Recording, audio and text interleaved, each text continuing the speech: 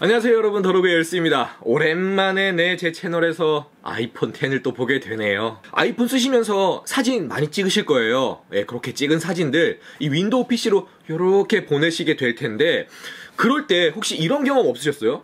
나는 분명 아이폰에서 봤을 때는 사진이 잘 나왔는데 윈도우에서 보니 이게 허라 사진이 아니고 그냥 문서 파일처럼 뜨는 모습들 여러분들 그런 파일 보시면 확장자가 HEIC 혹은 HEIF로 돼 있을 거예요. 파일 압축을 통해서 전체적인 용량은 줄이면서 quality는 최대한 살리는 말 그대로 고효율 이미지 파일 포맷인데 iOS 11에서는 이게 기본값으로 설정이 돼 있어요. 그래서 아이폰으로 신나게 사진 찍고 direct로 보낼 수 있는 그런 앱이라든지 어, 호환이 되지 않는 클라우드 앱으로 이렇게 보낸 다음에 윈도우 PC에서 열어보면 그 파일들은 이미지 상태로 뜨진 않으실 거예요. 저를 비롯해서 이런 황당한 경험 하신 분들 적지 않으리라 생각이 드는데 해결 방법이 있어요.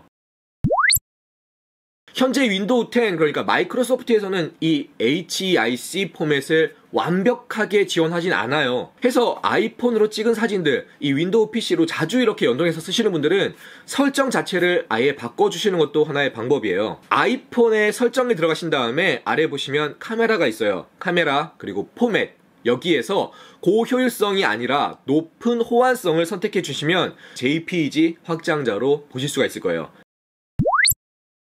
아니 그러면 기존의 HEIC로 찍은 사진들은 어떻게 되냐? 이거 뭐 못 쓰는 거냐? 네 걱정하지 마세요. 요즘에 세상이 어떤 세상인데? 다 바꿔줍니다. HEIC 포맷으로 촬영된 이미지들 네 JPEG로 바꿔주는 이런 서비스들이 많아요. 많아요. 지금 보여드리는 이 사이트 거치시면 JPEG로 컨버트 할 수 있으니까 이런 서비스들도 참고해 보셔도 좋겠죠 이건 약간의 꼼수 아닌 꼼수인데요. 네. 뭐 구글 포토 같은 앱을 이용해도 되고요. 내지는 좀 더 간편하게 쓰고 싶다 하시는 분들은 여러분들 카카오톡 쓰시죠? 카카오톡에서 나와 1대1 대화를 하시는 거예요. 네, 좀좀 하시죠. 음. 나와 1대1 채팅에서 이 HEIC 포맷으로 촬영된 이미지들 다 업로드를 하시면 이 카카오톡 채팅방에서는 정상적인 이미지로 표시가 돼요. 여기에서 눈치채셨나요?